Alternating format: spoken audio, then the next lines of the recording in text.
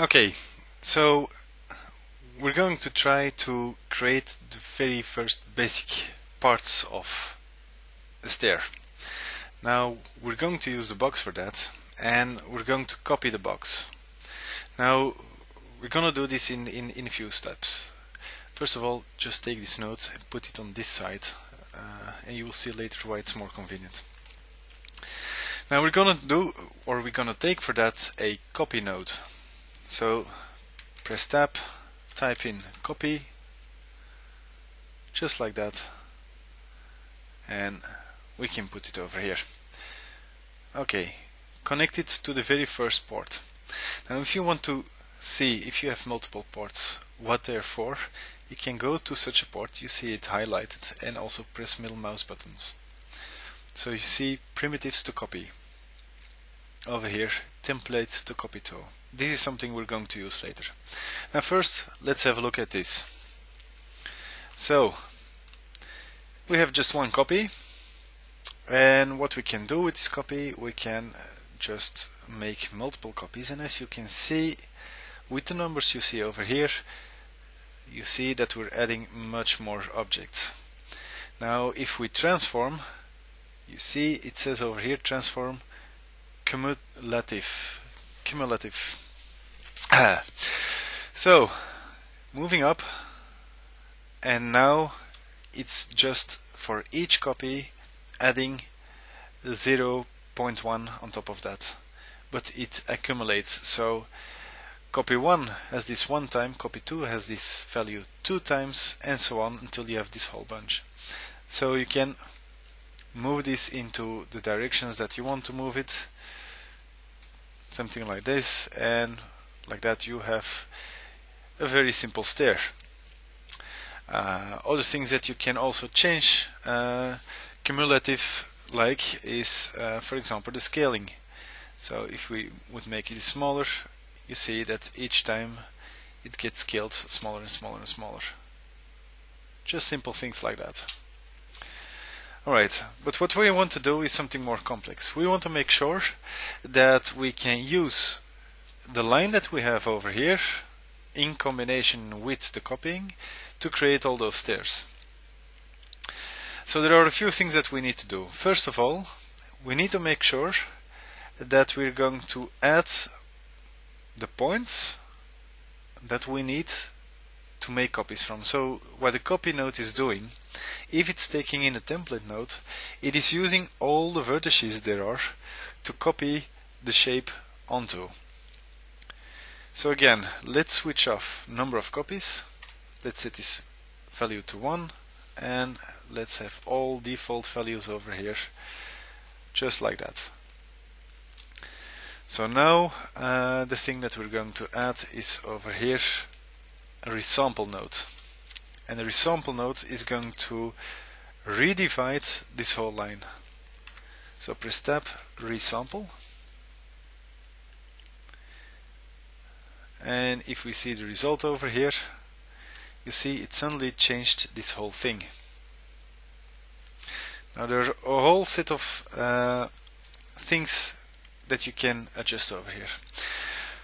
Now at all times it is very important to work the following way um, if you want to know how these things work or what they're for then use the help file it's not by just playing around with each one of these values that you're going to know what the result is going to be. Because for example over here level of detail, you can play with this value whatever you want, but unless you understand what it's for, you don't know when to apply it and what kind of effect it's going to have. So on a straight line it's not going to have any effect whatsoever. And if you don't know that, and if you're just playing around with it, yeah, you've learned nothing. So make sure sometimes to use, or in almost all cases, to use the help file. And on the help file, it gives you like lots and lots of uh, info. Also, it gives you example files that you can check out, etc. So use this. Oops. Alright. So what we have now over here is this line being divided in several parts. So if we move this, you see it's keeping an equal length division for each one of these. So I'm going to change this. We're now moving this around. Let's, let me put this somewhere in half. Now, as you can see, the last part is not added. In fact, the line is longer than what you see over here. Let's do this again. Let's make it just a little bit longer. Then we see it's much better. You see the difference in, in size. Okay, one thing that we're interested in is, for example, maintain the last vertex. So right now, if you start to move, it's always keeping the last point as well. Um, some other things, you can adjust the length, how long the division needs to be for each one of those lines, or you can set, for example, the maximum number of segments that you say, I want to have like 10 segments and then it's just divided over the whole edge. But then if you change, you see it's not adjusting the numbers. So there's a lot of possibilities that you can do over here just with simple resampling of this node. Okay, um, so now the thing that we're going to do is we're going to use the result we have over here to put into the copy node like that. And as you can see right now it's just creating a copy for each one of those points. So there you have it. Okay um, let me just play around with this. Now if you start to rotate as you can see this is not really stable we want to improve this the reason why this is not stable is the same reason um, that if you don't have any information for example to uh, aim at an object because the, the effect you're seeing over here is very comparable to um, what would happen to an aim constraint in Maya if it's not provided with the proper data. So Houdini is, is doing the following thing. It is using um, one axis as uh, a normal and it's using or it's using the aim axis sorry it's using the aim axis um, to and it aligns it with the normal of this object but doesn't have any normals and it needs also an attribute which is an up vector. So let me just draw this on screen. So just like the aim constraint in Maya if you want to have an object aiming at a certain point let's say over here you need to have this point to aim at. And you need to have for example an up vector an up vector which makes sure that the orientation along this axis is going to be correct. So this is exactly the same principle. So now what we're going to do is first create some normals. And the normals that we're going to use are the ones which are going to stand straight up in the sky. Straight up. So for that we're going to create an attribute okay now I'm going a little bit fast perhaps but don't worry create an attribute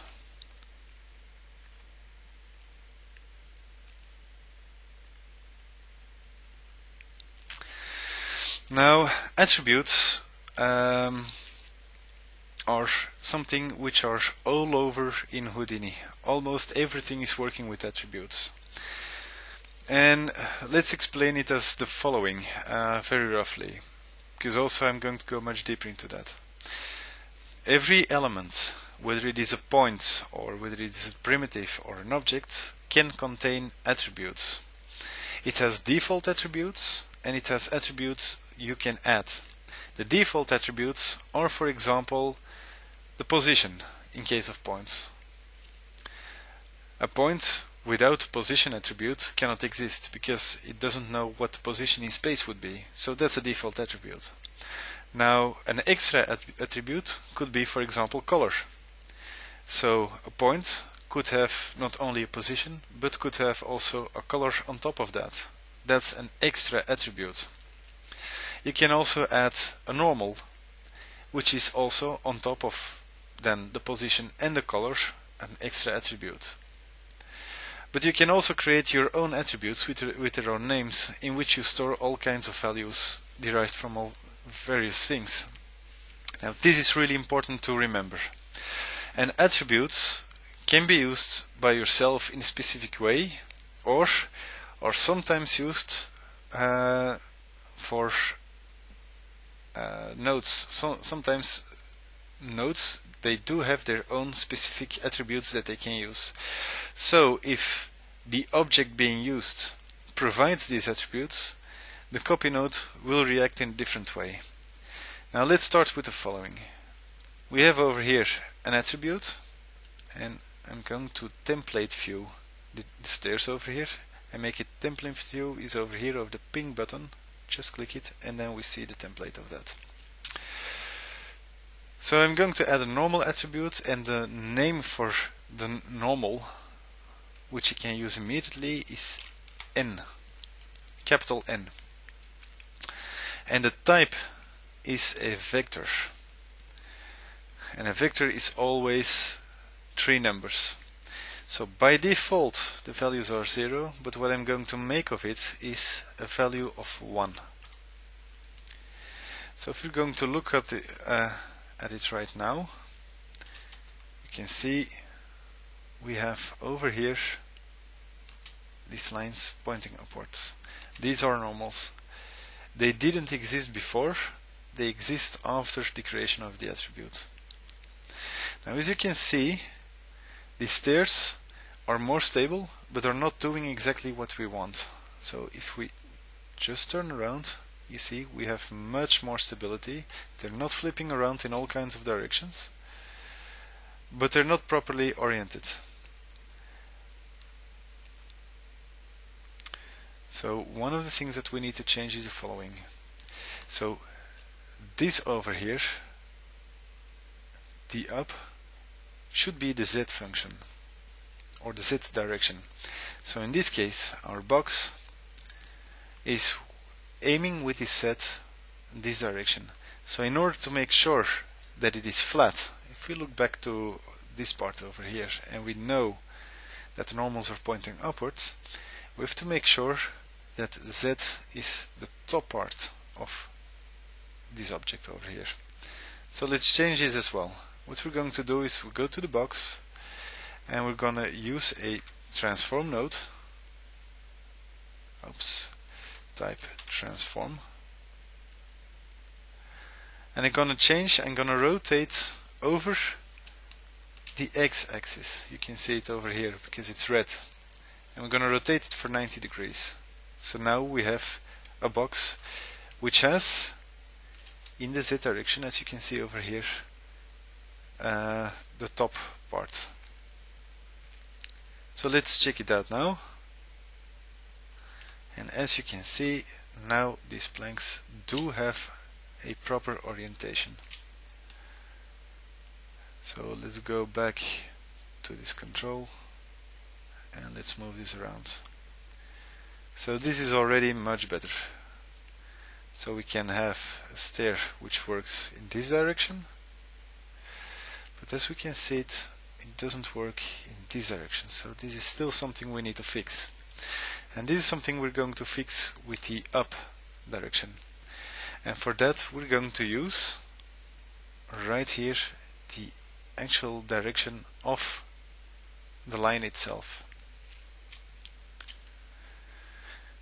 Now for that just follow me. Um, we're going to use a polyframe. So at polyframe. And a polyframe can calculate the tangent so tangent is uh, the, the connection or the, the, the, the perpendicular not the perpendicular line the perpendicular on the perpendicular line. Yeah it's called a tangent. Uh, let me just draw it. It's perhaps a bit easier. Tangent is if you have for example a circle. It's the line not normal. Not normal. Ah can't draw straight over here because my tablet is not working that good anymore. And right over here this line. This is the tangent. So the one which is just following exactly the surface at a given point. Alright now let's calculate the tangent but we're gonna give it a totally different name. Instead of naming it to tangent u we're gonna name it and give it the name up. And from the moment we use up and connect it over here in the copy you see now we have the combination of those allowing us, us to orient it in the proper direction. Now just don't worry too much if you don't understand it yet we're not I'm not going to explain everything because then uh, we're going to be busy for hours. This is just something to show you that you know how to orient your stairs for now. And as you can see now everything is just working fine. It's very stable. It's very fast. Exactly what we want to have. Right. Um, so this concludes this step in which we used the copy node in two ways creating copies by hand or creating copies using a template object and we added for the first time attributes to this object. Now remember also, like I've shown before, that if you want to check problems or whether things work, you can also check with middle mouse button if things has uh, have happened. So we added one point attribute, which is normal, something which wasn't there before, as you can see right over here, and here we added another one, normal, up, and there's another one called normal. You can just remove it. Ah, it's just, it's still over there. Well, let's keep it as what it is, normal. But we're not using this one. Okay, so that's it. Um, let's go to the next one and in the next one what we're going to do is we're going to extend what we have over here on the stairs and we're going to make sure that we can create uh, over here some side borders and that we can add some that we can add some rails